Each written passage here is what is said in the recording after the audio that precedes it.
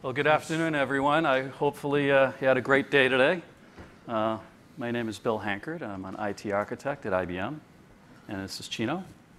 How you doing? Thanks for uh, attending. Uh, Chino Sahu, also an architect, uh, and uh, Bill will kind of take you through some context of what we do in IBM before we kind of jump into the meat of the presentation.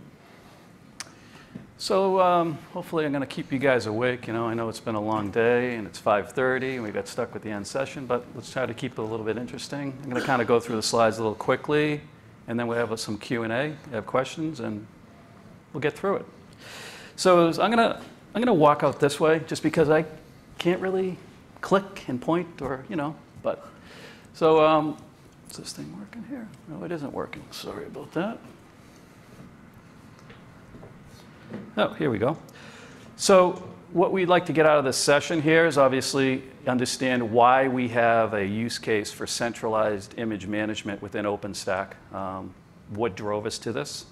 A little bit of an overview of the IBM Hybrid Development Cloud. This is a hybrid development cloud team within IBM. This is not internet facing. This isn't software. We're an internal team within cloud that supports the various development and support teams and test teams within IBM. We provide services to them.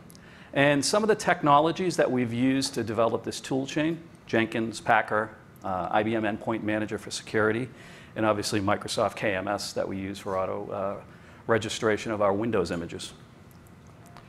Um, so a little bit of a context here of the mission. We started in 2015. Um, we, for all the IBM development teams within the, within the uh, cloud, analytics, uh, security teams that needed to leverage OpenStack as we're a fairly large VMware environment and OpenStack is you know, coming along. Um, we wanted to provide a method to have continuous delivery, have them uh, unbounded, give them that OpenStack, uh, here's your project, here's your images, here's your flavors, here's your network, go forward and deliver. And we wanted to step out of the way, we didn't want to inhibit them. So as OpenStack you know, is growing in, in leaps and bounds within the uh, company, you know, we, we wanted this project and we wanted to basically, you know, have something to deliver to them and sort of step out of the way, have something common, uh, have something that would uh, be global. We have uh, four locations that we're in today, uh, Littleton, Mass, uh, RTP, Carolina, uh, Hursley, England, and Toronto, Canada. So we have global teams. the need for commonality across all these teams was paramount because a developer could be working on projects in multiple locations. Just to add real quick, I mean, two fundamental business objectives. Oh, yeah, We wanted to to ensure our user base development teams that build software, build services, we want to make sure they're enabled to do their development in a hybrid context, um, you know, do their dev tests on-prem, uh, and then have the ability to promote that workload or promote that uh, um, offering out into our public cloud. Um, and then also enable them with the tools and self-service capabilities to do uh, continuous delivery. You know, deliver more frequently, deliver auto, in an automated way, um, adopt more of the DevOps practices that, that we're trying to champion uh, within our company and really across the industry. Thanks, Jim. So I'm going to give you a bit of an overview of our cloud here, and I'm going to use the laser pointer to kind of point out some of the things here. So obviously we have our OpenStack dashboard, and for those of you that are in my way here, I'm sorry. Um, so here's our dashboard. We use Jenkins. We use StackLight Grafana. Um, over here, basically our uh, you know, login page. And one of the things that we did with our users was this uh, lobby project. And so we created a project with an OpenStack and all the clouds. And we told users they had sort of a try and buy, go in there, kick the tires, do you like it? You know, is it going to work for you? As they adopted it, then we engage them and we create projects and then start, you know, onboarding them to our environment. And, you know, we use Slack. Um, right here we have GitHub. We have a product called BluePay. That's a custom application within IBM that we charge our clients for uh, that come in to uh, leverage our cloud resources. So you, you can kind of think of it as OpenStack plus, you know, as a service. We used OpenStack as the base and then built a lot of functionality around and on top of it. Um, automating a lot of our business processes that are specific to um, you know, corporate tools, uh, corporate processes, Um, and today we're going to actually focus on the image, uh, the imaging, the image piece of this, the image customization and the uh, image replication and, and, and kind of syncing that across all of our clouds. So just a little bit of an overview of our environment is here on the right-hand side would be within the IBM intranet, and obviously we're using, you know, GitHub. Um, we have uh, obviously OpenStack. We have it in these four different locations. We use Spectrum Scale, which is GPFS for storage, Cinder, Nova, and Glance. Obviously OpenSwitch, vSwitch for networking. StackLight Grafana, Kibana, and Nagios, monitoring the network, uh, monitoring the OpenStack infrastructure, getting alerts when certain of the services within OpenStack aren't responding. Good little tool. Um, right here is our security tool within IBM that we have to ensure that our images, when they're on the IBM intranet, are they're compliant, they're patched, they have the appropriate antiviruses, they have the appropriate password policies, and they meet our uh, business guidelines. Uh, this is our ticketing system. We use that for support. IBM Cloud Desk is uh, basically if a user has a problem, they submit a ticket, pretty much similar to other ticketing systems. Blue Pages and Blue Groups, this is our LDAP authentication. We've wired in, uh, in the previous screen, I can show you right here. So right here, we basically wire all that in. That's my IBM intranet ID into our corporate Blue Pages uh, directory. So we don't have to use any on-prem LDAP. We don't have to use any uh, Active Directory. We have everything within the corporate directory that we can use. So it's a lot easier for users. Also, it's a lot easier for us with these blue groups because we do use blue groups, um, LDAP groups, to lock down and segregate projects from each other and give people access within the OpenStack infrastructure. And as I showed you previously, BluePay, which is a you know, usage and chargeback tool that we use. Uh, right over here, so basically we have the uh, interconnects into our software labs. So we have dedicated links from each one of the labs and the lo locations that don't traverse the IBM intranet. Typically, the IBM intranet you know, is in each location. They go through a Blue Coat proxy somewhere out to the internet. These are directly into the pods within SoftLayer. We use these high, file, uh, high speed file transfers to move data from the labs within SoftLayer that folks have content or images or operating um, OpenStack environments, operating system, anything could be out there that they need to move data from their uh, continuous delivery model. Um, and let's see, right here, our cloud registry, uh, Blue Box, and let's see, other here, I can't really see that. Yeah, uh, IT SaaS, the same thing here. So that's really an overview of our environment. Um, pretty large, a little complex, but um, you know, that's, that's the lay of the land. And, you know, like I said, we fo we're focusing mainly on the uh, image repo that we're going to talk about a little bit more, but I just want to give you a bit of an overview of how we're using OpenStack within our environment. All right, so the problem here is images obviously are what our users are going to use. Uh, as we see the patches, everybody you know, loves to patch, and you know, OS gets non-compliant, and uh, you know, things ha happen out there. Uh, VMs sit out there. People don't patch, don't you know, put antiviruses. Problems happen, and then we have sometimes issues. So as you see, when it first started out, we have a nice, pretty house, and then we end up with a decayed house and an old microbus sitting next to it, which isn't good. So, you know, we needed to basically address this issue. I mean, I'm as guilty as the next as I was creating my own images in my location. I was promoting them to my cloud you know, Chino's doing the same, and we all kind of gathered together to say, listen, we shouldn't be doing this. We should have a central team doing this. We should basically coordinate this and have one central team managing, coordinating it where we can save time, uh, reduce duplication of effort. Yeah, I mean, I think the message here is you got to take care of your images, you got to take care of your instances. We don't want people to do it, so let's uh, build a tool or uh, build automation um, and then take care of the automation instead of having to take care of the images themselves. Okay, thanks, Jim. And so the case for change, as I said, eliminate the duplication of effort, you know, improve how we deliver the images, you avoid the images getting out of, out of date, out of patching, and obviously provide that consistent user experience across all clouds. Like I said, we're in four locations. We want to ensure if a developer that logs in to Hursley, England, has an Ubuntu 14.04 image, is using it, is the same user experience as they log into the RTP cloud. So we try to keep that level of consistency the same across all the clouds.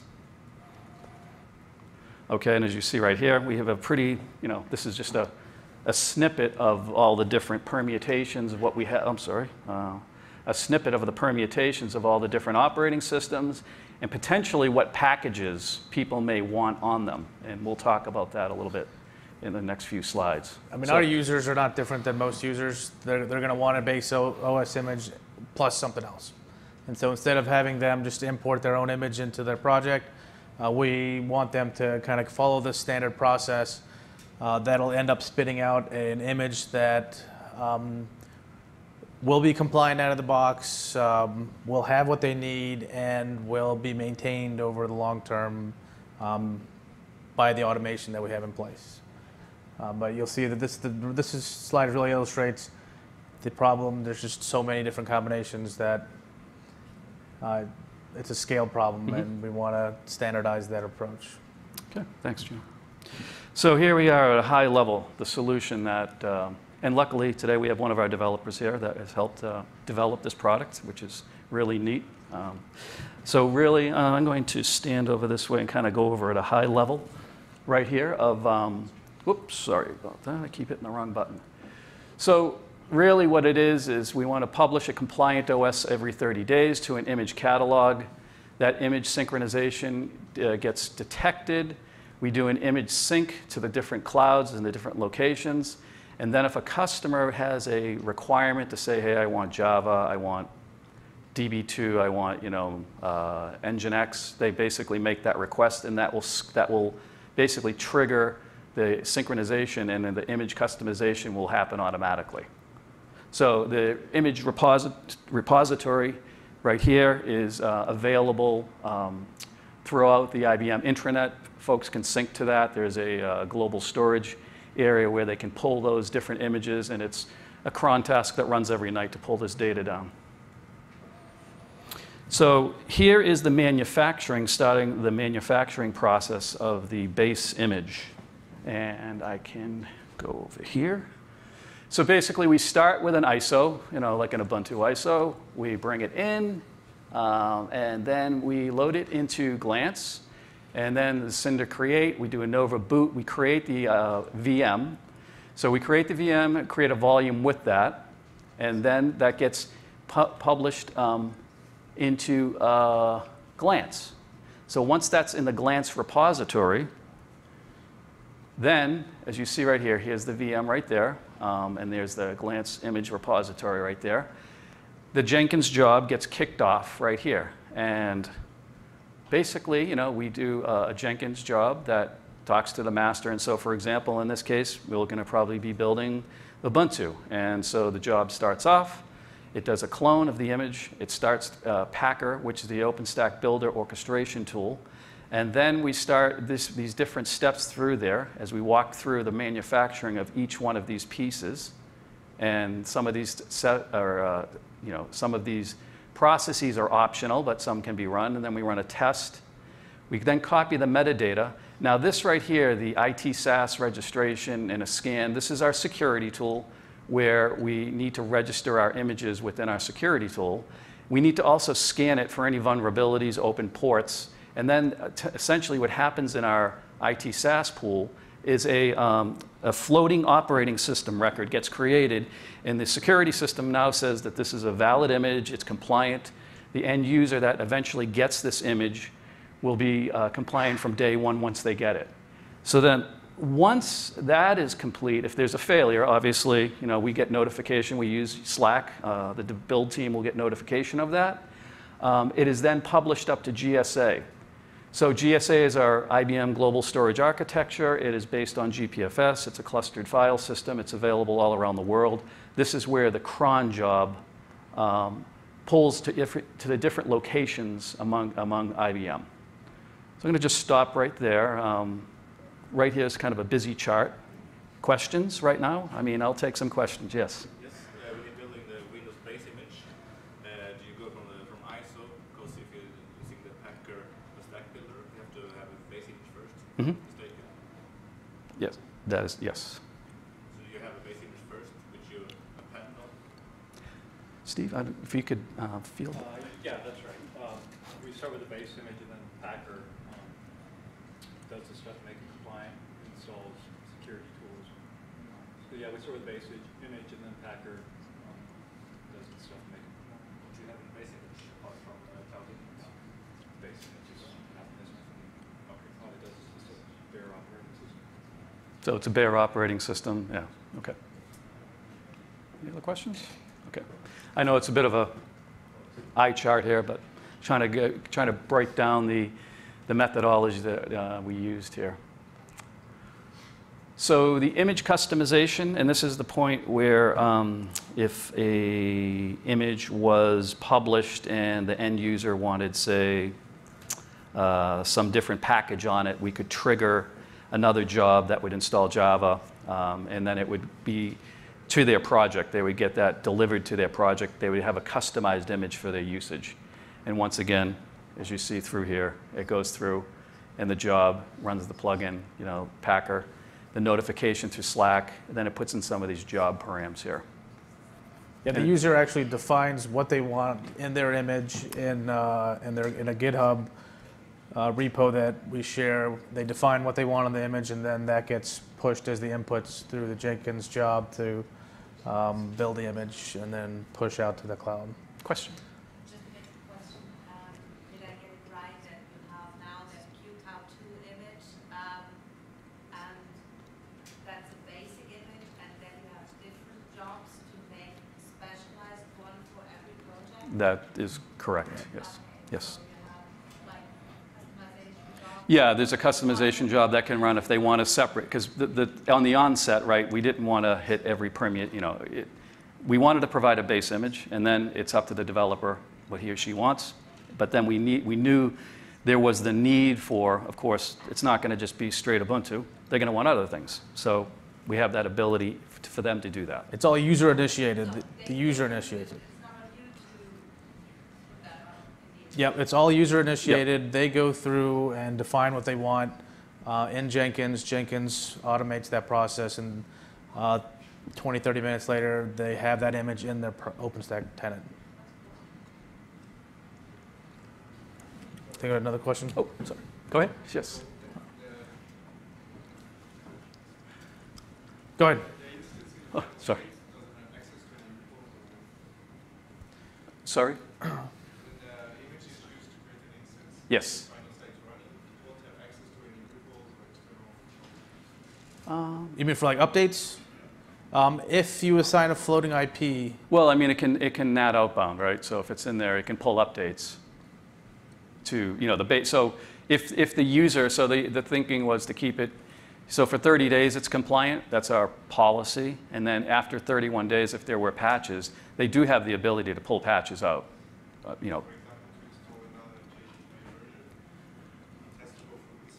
yes. Yep. If you want the latest version of whatever software uh, customized on your image, you'll have to go through and recreate the image. Yeah. okay, I think we, sorry. Is it working? Yeah. So a couple of slides back, you had uh, a security scan somewhere? yeah, right over here. Yep. So when the, the customers come in and they modify the image to add whatever they want, do you Right. go back into that flow and rerun the Yep. scan on that custom image? Yes, And re-register yes. So if they, obviously, if install Apache, or if they install some down-level version of something or whatever, which we don't want them, you know, which we ensure they don't do, um, then the scan would pick that up. So, I mean, if they're going to, regardless of, once they have that software installed on their image and they're out there in product, oh, in testing, after, after a certain cycle, there's a scan that our security system has to do at a certain point in time on that instance to ensure that they're compliant. So, so you don't do that prior to making the image available to them? Well, we do. Yes, no, we do. We, may, we ensure that what they get is a compliant image, and the record that's in our security system indicates that at the date of manufacture, this image has been made compliant. Moving forward, once it goes into the, uh, you know, when they run it within Nova. So it's always compliant while it's out there. When they provision, they know that they're getting an image that is fully compliant to our security specifications. Sorry, there was a gentleman right there had a question. What's your, what's your versioning and retirement policy? You know, when you decide you want to hold on to image even though the version is available? I think it's, is it 30 days, Steve? Sorry, It- The version, the- how the time period we keep the image? Yeah, every 30 days. So 30 days later, you just not available, it's. We'll, we'll Well, update it. We'll update it. Like So we, we, we, we tend to keep like n minus one from you talking about like major releases like you know as long as there's demand for a version and it's still being supported we'll we'll provide it yeah. So you see the depending on snow volume and you, the number of images just increases uh, geometrically or because your tires are in time. You don't have to do this, for instance. You catch too many of them. yeah yeah i mean it's definitely a management um, nightmare if it, if based you know it's, it's a- it's a function of how many images your your management cost is going to be a function of number of images so we try to minimize that amount uh, while still maximizing what users need Question? Yeah, Yes. on the previous slide. Sure. Uh, where you start with the ISO, Yes. uh, it says it's a manual process right now. A little, little text there. A little. Manual process. Hmm. Uh, do you have any plans on automating that? is that a typo Is that a type? Is it manual? Yeah. All right. Bootstrap. Yeah. That's Yeah. done once. Yeah. So as you see right here, it's the major OS release is done once, and then upon that, once that's in the repository, it's patched upon that. So we don't have to do that again. So I mean, if 17, 1704 comes out, they're going to do that manual process once more. But then when 1704.1, One time per major yes, yes. Okay. Any more questions? I'll just crank along here. I think I stood here. All right, and so here's a little scene behind Packer, um, the JSON. And as you see, kind of the, the, the YAML file that is used to create the user, uh, I mean, create the, you know, different components. We have the, uh, the type, what it is, OpenStack, the different regions, uh, the availability zones, and we go down the, the list of the networking, the floating IP. Um, so this is what gets, excuse me, baked into the image as it gets created. Um, and just another look behind the scenes on the Jenkins job that will get kicked off to run Packer. And then if, you know, notification, once again, using Slack, notification if the job failed, succeeded, we go into Slack to ensure that the uh, functionality is there. Um, so the next slide here is that we had a bit of a, in the back previous slides, we had some IBM Endpoint Manager, and this is a, um, if you heard of BigFix, uh, this is a IBM security tool that we have optionally the end user can install on their image that the IBM Endpoint Manager can go out and maintain patching, compliance, um, a fairly large portfolio of software to do a lot of this work, but uh, it's used in IBM against, you know, against a lot of our images, uh, does a lot of uh, stuff behind the scenes to keep the images that are long-lived, and we'd only use this on a long-lived floating IP addressed uh, instance that's running out there. and it, and it handles more than just OS patching. It'll handle um, any sort of middleware or software um, that would require patching. It, uh, it's not, it doesn't have 100% coverage, but it's pretty close. Um, and it's really key to keeping instance level compliance um, ongoing for those rare cases where there are long living, Right. long running VMs. We tend to try to drive users to um, minimize the number of long running VMs. OpenStack is all about dynamic uh, workload and provisioning when, they, when you need to and destroying as you're done. Question? Is this integrated with change management? Like, do you incorporate that, or is this automated that just every 30 days the thing's going to get patched as it's running out there in order? So it's within our security tool. The, the end user has the ability, if they deem they want to have this function run against their machine, if they, you know, they just want to set it and forget it, then that will um, go off and do the patch management. It doesn't, I mean, the change control part of that. um, Well, it- that's what IT SaaS is for. That's what, the- oh, yeah, the security tool IT SaaS will, will basically make a notation that on this day, uh, uh, IBM Endpoint Manager applied these patches on this. So if we're in case of an audit, we have basically the record of history of how this instance was patched. So that change, what happened on the uh, endpoint, when the IBM Endpoint Manager happens. From like, so a problem we run into, someone doesn't approve a change ticket. Right. So it doesn't get patched. Right. And then it goes another cycle and it doesn't get patched. I'm just wondering how you guys deal with those types of compliance issues. So for these, we call these, um, so we classify things a little bit, our security classification. So these would be considered test and development machines where the change management rig- rigor is not as, as a production facing machine. I mean, if it's like a critical patch, they'll get nag notes and Yep. eventually get escalated. I mean, I'll go to their manager, the manager's manager, up, up through. I mean, it's um, IT. We have a tool that does the change management that every v, every image and instance um, is linked to. So any patch that needs to be applied, if it's a you know Sev one critical patch, um, it, and it doesn't get patched, it'll eventually get escalated to to their management. Okay. And let's see here, what else? All right. So also, obviously our Windows machines, once they are, our Windows instances, I might say, they are uh, managed by a KMS server. They come online. They automatically hit the KMS server to register, as people know with uh, Windows, doing unattended syspreps and all that stuff can get kind of gnarly. Um, this kind of handles some of the key management for us, um, which is pretty good. I mean, I think it helps a lot of the uh, folks that are using Windows to register these things. And, you know, it's, as you see the numbers there, one KMS, about 150,000 instances where you basically, we're churning and burning instances, Windows, when we're doing tests, so we need to re-register. And so the outcome here, so we have common compliant images across the clouds. Um, you know, no compliance cost for 30 days, so you get a 30-day get out of jail free card. Um, and after that, if they continue to keep the image, then they'll have to maintain it within our security tool to have to patch it.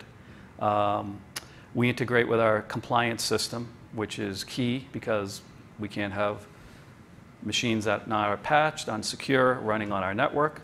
As you see, we have an automated framework to customize uh, the spe- specific stacks. Um, and the user experience from the image perspective is the same across all geographies. So we have the same look and feel. Um, and the reduced cost associated with that is, you know, on average, we're saving around 16 hours, man hours per week across each location. So we don't have everybody doing it. We have a team that is cent- uh, central that handles all of those for all the different geos. Um, and that duplication of effort that we'd had at different sites, we have can free up the local IT teams to do other things and support our other functions within the team. And here's some numbers here about BigFix. Um, some of the uh, different locations that they're in within the IBM Corporation, and some of the patches and what they are doing across the, uh, the different geos.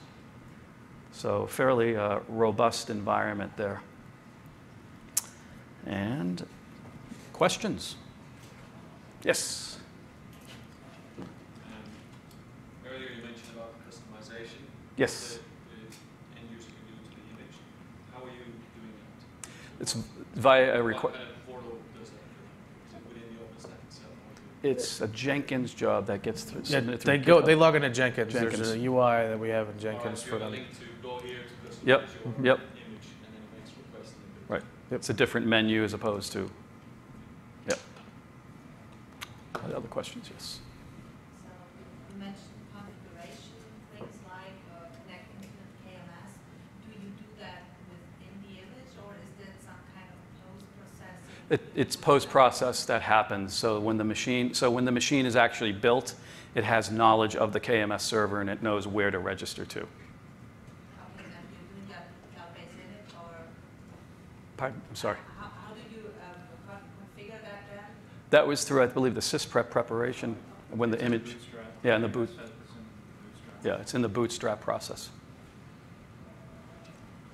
Other questions? Yes. Uh, So when uh, Windows instances are deployed, um, are they going to talk to CCM server right away, or for 30 days you keep them out of the CCM and then let after, after discover? No, they're always registered within the, um, our security system. So because, How, no matter how short. right, because we actually have jobs, uh, so we have a listener that listens within the framework of OpenStack that sees something, there's a message queue, that basically says, ah, there's a new Windows instance, I'm going to register it, it's a, you know, it has the FOSSI record associated with it, it belongs to this, this person, it's in there, and see each user within, you know, the development teams has their own login to the security portal. So it would show up on their list as, okay, now you have a new, now, new image within the security portal. I mean, compliance is, is just about, is, it's not just about um, being safe and secure. It's, it's, uh, there's a lot of emphasis on audits, you know, making, just making sure everything's documented. So anything that touches the network, um, we're required to capture, you know, that this VM by this person um, with these characteristics and this OS touch the network, um, mostly for audit reasons. It's less about uh, being secure, to be honest.